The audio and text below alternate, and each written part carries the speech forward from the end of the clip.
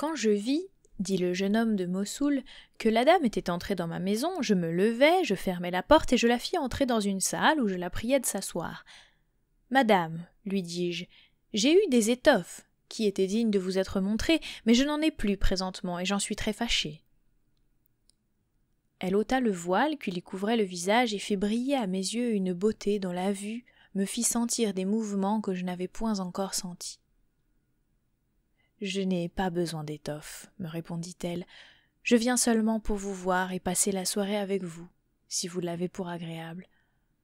Je ne vous demande qu'une légère collation.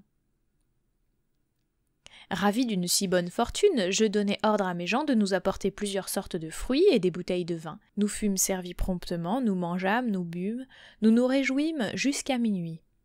Enfin, je n'avais point encore passé de nuit si agréable que je passais celle-là. Le lendemain matin, je voulus mettre dix shérifs dans la main de la dame, mais elle la retira brusquement. Je ne suis pas venue vous voir, dit-elle, dans un esprit d'intérêt, et vous me faites injure. Bien loin de recevoir de l'argent de vous, je veux que vous en receviez de moi. Autrement, je ne vous reverrai plus. En même temps, elle tira dix shérifs de sa bourse et me força à les prendre. Attendez-moi dans trois jours, me dit-elle, après le coucher du soleil. À ces mots, elle prit congé de moi, et je sentis qu'en partant, elle emportait mon cœur avec elle. Au bout de trois jours, elle ne manqua pas de revenir à l'heure marquée, et je ne manquai pas de la recevoir avec toute la joie d'un homme qui l'attendait impatiemment. Nous passâmes la soirée et la nuit comme la dernière fois, et le lendemain, en me quittant, elle me promit de revenir me voir encore dans trois jours. Mais elle ne voulut point partir que je n'eusse reçu dix nouveaux shérifs. Étant revenue pour la troisième fois, et lorsque le vin nous eut échauffés tous les deux, elle me dit Mon cher cœur, que pensez-vous de moi? Ne suis-je pas belle et amusante?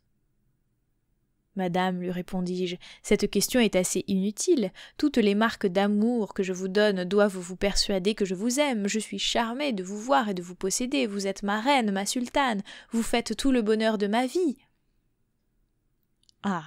Je suis assurée, me dit-elle, que vous cesseriez de tenir ce langage, si vous aviez vu une dame de mes amies, qui est plus jeune et plus belle que moi. Elle a l'humeur si enjouée qu'elle ferait rire les gens les plus mélancoliques. Il faut que je vous l'amène ici. Je lui ai parlé de vous, et sur ce que je lui en ai dit, elle meurt d'envie de vous voir. Elle m'a prié de lui procurer ce plaisir, mais je n'ai pas osé la satisfaire sans vous en avoir parlé auparavant. Madame, repris-je, vous ferez ce qu'il vous plaira, mais quelque chose que vous me puissiez dire de votre ami, je défie tous ses attraits de vous ravir mon cœur, qui est si fortement attaché à vous que rien n'est capable de l'en détacher. Prenez-y bien garde, répliqua-t-elle. Je vous avertis que je vais mettre votre amour à une étrange épreuve. Nous en demeurâmes là, et le lendemain, en me quittant, au lieu de dix shérifs, elle m'en donna quinze, que je fus forcé d'accepter.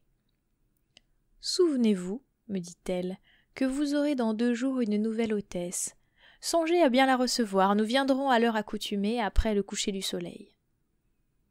Je fis orner la salle, préparer une belle collation pour le jour qu'elle devait venir.